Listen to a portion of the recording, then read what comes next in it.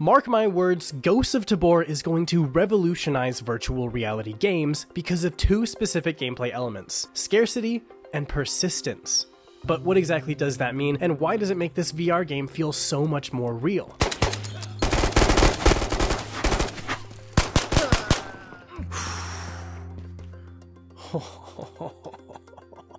Hi, I'm Virtual Bro, and I'm always looking for the best VR games that are actually worth your time. In this video, I'm going to highlight the specific features of Ghosts of Tabor that make it so amazing. He's shooting at me! He's shooting ah! ah! I'm gonna book it to that next building. Ready? First the tree, then the building. Ah! Alright, move up, move up. Just want to survive, man just like you. All this footage is captured on Quest 2, so I apologize for not showing off the best looking version of this game, as I'm sure the graphics are way better on PC VR. But anyways. Where, where did he go? What the? Oh, jeez. Ghost of Tabor is almost like a battle royale game, but without all of the immersion breaking game mechanics found in something like Fortnite or the VR equivalent Population 1. What's different about Ghost of Tabor is that there are no rounds, no respawns, no loadouts, no storm, and more importantly, no winner. This isn't a trivial competition or a virtual sport. It's a fight for your survival. Where's that airdrop? Oh crap. Oh my gosh.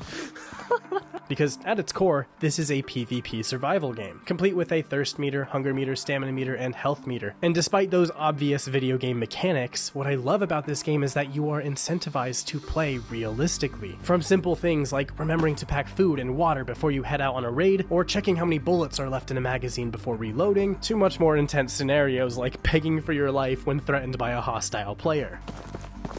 Player, player, where? Oh, dang. I surrender! I surrender. I'm out of ammo. This is by far the most immersive game I have ever played, to the point where I genuinely questioned the morality of some of my actions. Hmm, I'm still mean to you.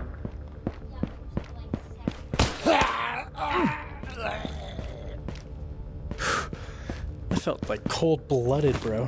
And this realism applies to the weapons and items as well. You may get lucky and find a really good gun while out looting, but that won't do you much good if you don't find the proper ammo for it or extra magazines to reload. You see, the guns in this game aren't part of some loadout system that spawns with me every time I join a game. Instead, before every raid, I make the conscious decision to bring whatever limited equipment that I have stored in my safe house into the PvP map. And the scary thing is, I risk losing everything I brought in if I die. But if I successfully extract whatever I manage to bring back, I can keep until I decide to use it and risk losing it again. So this has me constantly on the lookout for extra magazines, attachments, even things like water bottles and cans of food because, well, they're scarce. You can easily run out of any item, which has you constantly trying to stock up whenever you can. I think there's one bullet in this. We're gonna try it.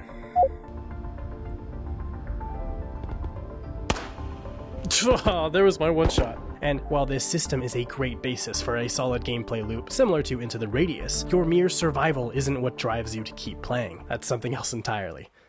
In my last video, I briefly covered Into the Radius, where I made a very important point that it's hard to explain, but during my playthrough, I felt like this was actually my stuff. I have memories with this specific item. I went out into the radius, looted it from a house, and it's been right here ever since. This particular gun has gone with me on countless missions. No other game makes me feel this possessive over my virtual items. And, and this is noteworthy because the VR market is dominated by these sandbox style games where obtaining items is often as trivial as clicking the spawn button. And because of that, these items are effectively worthless. They can be spawned and despawned at will, sometimes contrary to your will, and there's no sense of value or ownership with these virtual objects because because there is no scarcity or consistency. If I lost this gun, I would simply spawn in another identical one to replace it, the only cost being time and mild annoyance. But in Ghosts of Tabor, to acquire a new weapon, you have to go out into the world, fight off hostiles, search through containers for loot, make sure it all fits into your backpack, and then book it all the way to an extraction zone to get home safe, where you can then unpack your loot and decide to keep or sell whatever items you want. This is what I mean by persistence. This is the very same gun that I found in that lighthouse on that one raid. This specific water bottle I found while looting the missile silo. This is how you make me care about a game. And I know the comparison has already been made, so yes, this is very similar in concept to Escape from Tarkov, but here's why it's so much better in VR. If you don't know what Escape from Tarkov is, or aren't familiar with what makes the extraction shooter genre so unique from other FPS games, allow me to direct you to this amazing video by Operator Drewski. His video explains way more fully what makes these types of games so much more dynamic and immersive than anything else, and VR just multiplies this feeling by 10. Here's a foregrip. Come to my side. Whoa! My side. Whoa! Whoa, Whoa! Whoa! Ah. Holy crap. Are you okay? You see, even though it's highly praised for being immersive, in Tarkov, all of your looting and inventory management looks like this clicking and dragging items across a menu screen. But in VR, you physically open every drawer, pick up every item, take off your backpack and fit stuff into it, then organize your loot by hand to maximize the space in your bag so that you can carry as much as possible. But not only is looting a manual effort, it often requires you to set down your weapon, meaning that you are essentially risking your life every time you decide to put something in your backpack. This same risk applies to every building you enter, every body you inspect, every crate you open, every shot you fire. Guy at the end of the hallway. Do not be. Got him.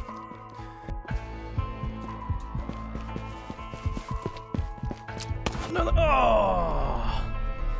This game is full of these tiny choices that will determine whether you live or die, and it's this balance of risk, reward, and punishing difficulty that makes it one of the most addicting VR games I've ever played.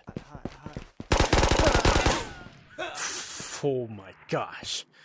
Oh my gosh. Dude, I f- that feels like murder. like, that's. Second player. Stack up.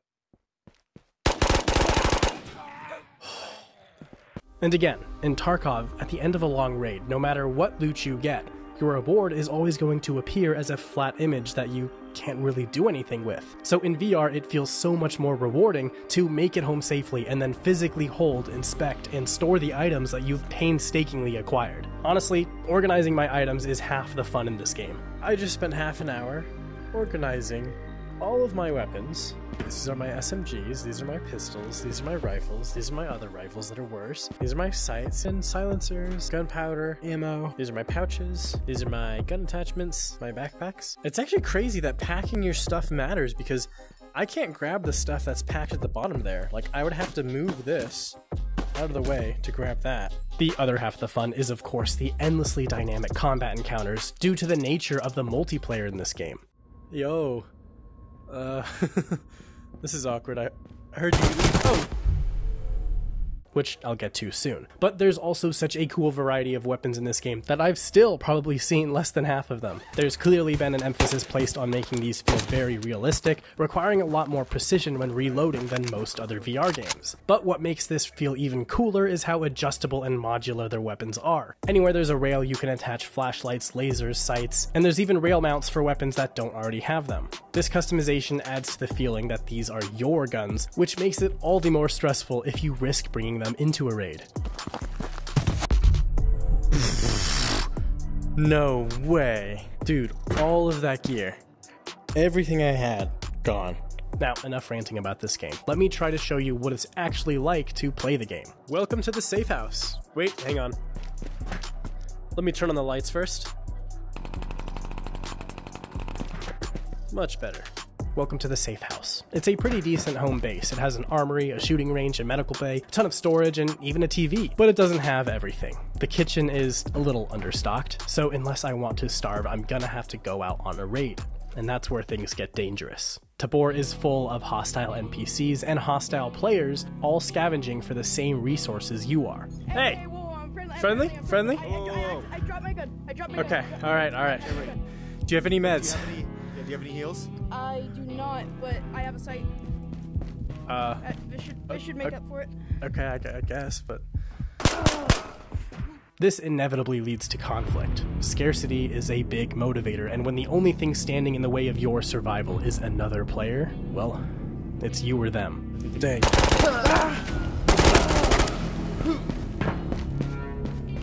Oh my gosh, my reflexes, bro. And though you might call this a PvP game, there's actually nothing stopping you from making peace on the battlefield either. Teaming up is possible, that is, if you're persuasive enough. Um, I think we should stick together. All right. Oh, crap!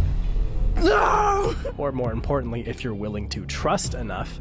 I don't want to get killed by you, so I'm not gonna go out there, but you have a nice day. How can I trust you? We're not. You don't kill us, we don't kill you. Promise? Look, look. As a show of good as a show of good faith, ready? Look look at there. There's my main gun, Nice. and there's my secondary gun.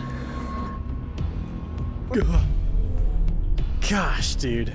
You could be laying down your weapons to prove that you're not a threat, and still it might not be enough to earn your survival. I've got like nothing left. I just came in. Ah. I have never experienced a better use for proximity voice chat than begging for your life at the end of another player's gun, or being on the other side and sticking up a player for their loot. Hey! Put your hands in the air! Drop it. Drop it. Ooh, and I get all this loot. he had a silenced gun. He had a silenced gun. Give me that. Okay, we should get out of here. And while there is plenty of good Samaritans out there who want to cooperate with you, Yeah. Yeah, here, you want this? Uh, Oh, sure. Bro. We're trying to get to the uh, secret room from the roof. Alright. I got you. I'll, I'll be like backup if anything. there are even more who want to kill you on sight without a second thought. Oh gosh. Don't kill me. Please don't kill me. Can you hear me? Wave to me. Don't. Wave to me. Can you hear? The number one rule of Ghosts of Tabor don't trust anyone. Friendly. Yo. Right here. Yeah, what's up? What's up, bro? Do you have any do you have any guns? Aww.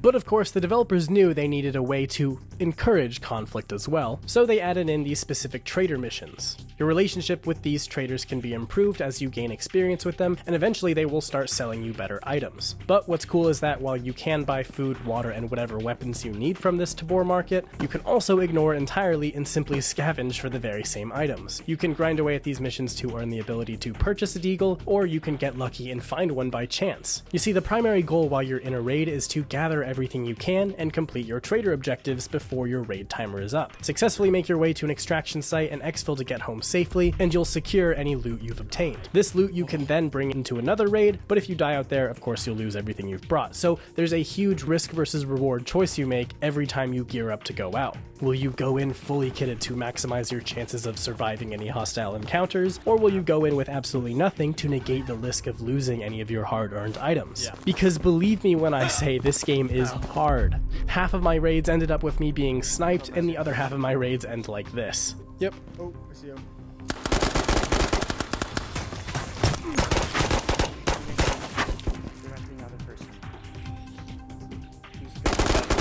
Oh, no way. I recommend always going in with at least a backpack since you never know what you're gonna find. So there's a bunch of good loot here, but I don't have a backpack to take it. Yeah, look at all this stuff that I could take with me if I had a backpack. because there's a huge variety of items scattered throughout the map. From weapons, magazines, canned food, armor, helmets, scopes, laser sights, flashlights, water bottles, ammo pouches, grenades, gunpowder, and a large amount of random valuable items that you can sell to traders in the Tabor market. But of course, Ghosts of Tabor is not without its flaws. Quick warning, this game isn't even fully out yet, it's still in beta, and sometimes that is very apparent because of the annoying glitches and collisions and lighting and all that stuff. But those become very easy to overlook when you realize how much this game gets right, and when you see the developers are constantly working to improve the game. So if you see something in this video that looks a little jank, it probably is. But since this is a work in progress, the developers are constantly changing and updating the game. So here are some areas where I'd love to see some improvements made. First, please prioritize fixing these shaders and lighting for certain objects. Sometimes my gun will just turn completely black, or sometimes it's a door, but usually my backpack is the hardest thing to see into. What was in there? You missed a key card. Oh, crap. Dude, the backpacks are impossible to see. The second thing I think they should prioritize is the party system and voice chat. The proximity chat is one of the best features in this game. I'm friendly. Uh, I don't have anything. Please spare me. my hands are in the air. My hands are in the air. My hands are in the air. Please. I'm gonna I'm gonna walk away. I'm gonna walk. Yeah, yeah, I promise. Look, look, look. You can inspect me. Funny. Please. Nah. Here's I'm the- like, Here's a problem. Virtual. No way. No way. Yes. You subscribe to me on YouTube? Oh, bro, I, I'm such a big fan. That's so cool. You're the first person to like ever recognize me. I'm such a big fan. Okay. Okay. Do, do you see my name? No! I didn't see his name. We never even got an email address. But often I and other players ignore it because we have to be in a separate call to talk with our teammates. It's really immersive having to signal your teammate to be quiet when you think there are enemies nearby, but if my teammate and I ever got separated or happened to get the glitch where we don't spawn together, Oh no, we didn't spawn together? Someone's shooting at me. Someone's shooting at Uh, I died. there's no way for us to communicate in game to find each other since the max range of the proximity voice chat is pretty low. What's also surprising is that there's no way to talk to your teammates while in the safe house, so before you enter a raid, you might have no idea what your teammates are bringing in. I think all they would need to fix this is to create a walkie talkie or radio system for squad mates to talk over longer distances. I mean, this helmet already appears to have a microphone specifically for that, so maybe they do plan on adding it but haven't gotten to it yet. I would also love to see the hands and full body character overhauled to allow for going prone, leaning over objects without getting physically pushed back, and more expressive hands. I think they're on the roof. Oh. Gesturing with your hands is often the most clear way to communicate and demonstrate intentions. Can you hear me? Jump if you can hear me. Okay, you can hear me. I can't hear you. Uh, jumping, dragon punch, Wi-Fi. I can't do charades. I can't. These hands are not expressive enough. Which is actually a point in my video. So let's lean into that uniquely VR feature and make them look less stiff. And last but not least, please change how picking up items works. Right now, your hand snaps to a preset position when grabbing anything, and often puts your hand in the most unnatural position possible. I cannot stress this enough, it's so jarring to try to pick up a box of ammo, only for your hand to snap to the underside of the container, contorting your arm into this unnatural position, and getting both your hand and the box of ammo stuck in the process. Another significant example of this is the drawers in your safe house. No matter where you grab them, your hand snaps to the other end of it, and that often stretches your arm so far away from you that you're not sure which way to move it anymore. I would love to see an interaction system which allows your hands to grab items from any angle. And you know what else is missing? Trigger discipline. These controllers have a feature which can detect whether your finger is touching the trigger or not, so why aren't we using it? Especially in a game where friendly fire is a real danger since you usually die in one to two shots. Oh, this gun is empty. he shot me in the back. Teaching people about trigger discipline and gun safety should be a priority for any VR game with realistic guns. I wish you could see. Here's the thing, though. What were you saying? I wish that you could just. No, no, go on. No, I just wish that you could see me I- do my. No, I just that. wish I'm that, I'm like, listening. It's just me- that these doors are these doors are really loud.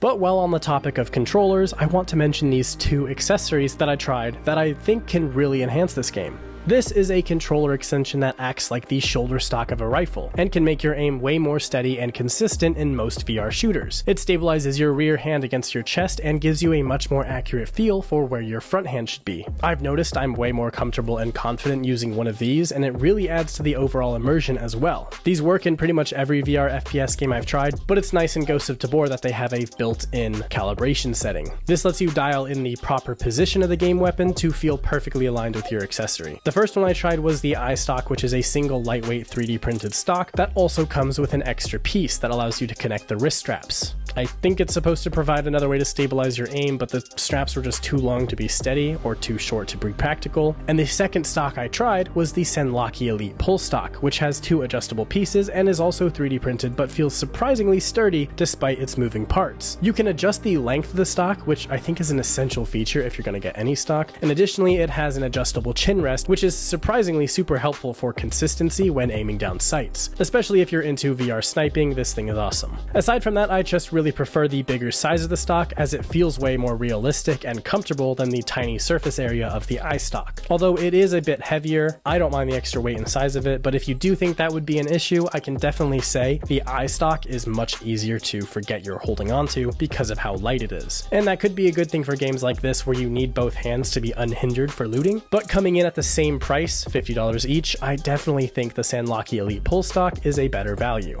I'll have links to both in the pinned comment. That wasn't sponsored, but I just thought I would recommend it. But for now, that basically concludes my extensive rant about Ghosts of Tabor, and to make good on my very first statement, I really do think that Ghosts of Tabor is going to revolutionize virtual reality games, because I feel like the future of VR, at least from a gaming perspective, is headed the direction of Ready Player One, where everyone has their unique character with a persistent inventory of stuff they've collected over time, and I feel like games like Tabor and Rift XR are the very first steps to making that a reality. I mean, imagine if VR chat had a little bit of Sword Art Online influence, where everyone has experience points to gain and fun items to obtain. But that can be a conversation for another time.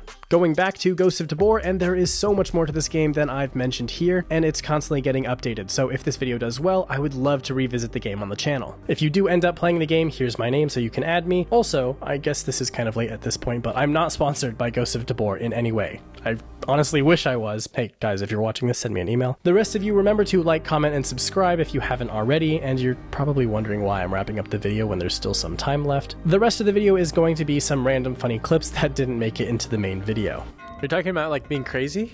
Because Um, I was crazy once. no. Keep climbing. Dude, my hands are glitching. I can't. I can't climb for so. Oh, Yes, you Okay. can. I can do it. Dude, you're the little kid in Spider-Man.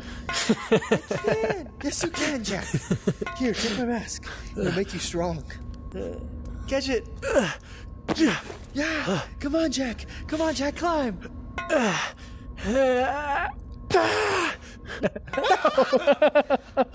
caught myself. Well, I guess we need to find a key card How do we get a key card? I don't know. Whoa. Hey, get it out of my face. Get it- get out of my face. Yeah, that's right. That's right. Know. Do it again. Okay, so you. gotta I'm gonna kill you. I'm like. it was so cool if you could actually pull it off. Can you fit it in your backpack oh, if you if you fold it? I'm gonna try. You can. Nice. Here, you can have it. Uh, uh-huh. Uh, uh, down, down, down. Don't test me, man. What if I don't wanna? What if I don't wanna? Don't test me. No, give me the gun. Give me the gun! Don't ah! Oh, like. Phoenix. Straight ahead. Ah, Where is he? I'm out. I'm so out. Got him. I got Okay, him. cool. Here, you know what? Because you're gonna get heals, take this. Here, I'll put this right in my bag. Put it in my bag. Oh, do you know what's in my bag? Dude, and what if you could buy a bulletproof backpack? That would be sick. Dude, guy from John Wick, when you go like this. Yeah. That'd be sick. Um, to mute yourself, so look on the inside of your watch here. Yeah. It's green. The oops, the glowing light right there. If you hold your left hand to your mouth and then click X, the bottom button, it'll turn it red, and it mutes you. This is Okay. dead body, man. Hello? Uh, yo, uh, hey, we hear you there. on the t- Gosh, that scared me. I hear metal. I hear lots of Kill a guy, gunshots. sorry. he want the message,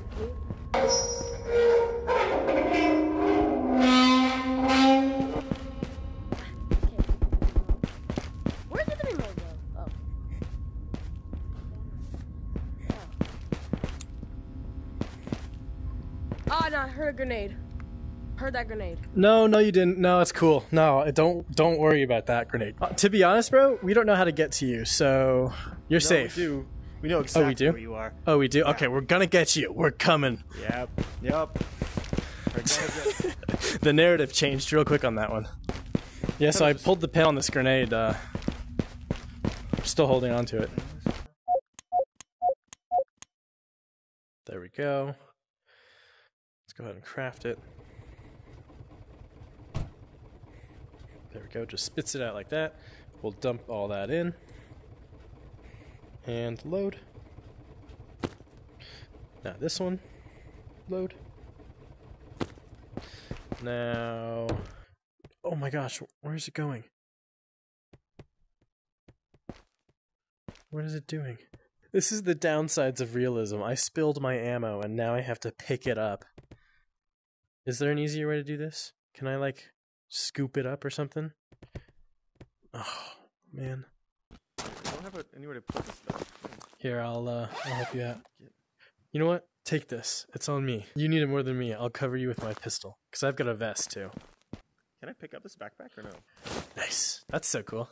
That means I could technically give you anything. I could just bring in a gun for you too. That's cool. Do you come in in teams or is it randomized? Dude, we killed the ghost of Tabor. We killed the. Look at his name tag. Friendly, friendly, friendly, friendly, friendly, friendly. No? Yep, yep, yep. Hands up, hands up. Got you.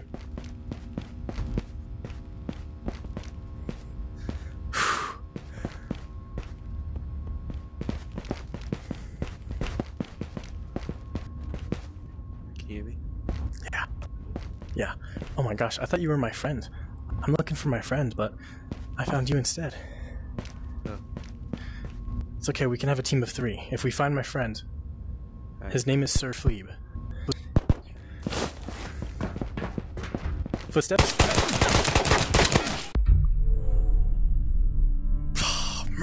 Sir Fleeb? Please. Are you okay? Please. No. Please. Shh. It's gonna be. All right, let's get these bodies out of the way. Come on. Oh, I feel so bad moving their body. It makes it like feel like a murder. Water bottle or any drink if you need it. And then tape measure. Do you want it? yeah. Unless you want it. You what Exactly. Premium. Ooh, MP5. Ooh, ooh, ooh. It's stuck though. Can you grab it? No. It's like Thor's hammer. Hang on. Can I pick it up? Move aside. Pick it up, I'm blowing his head off. Sorry.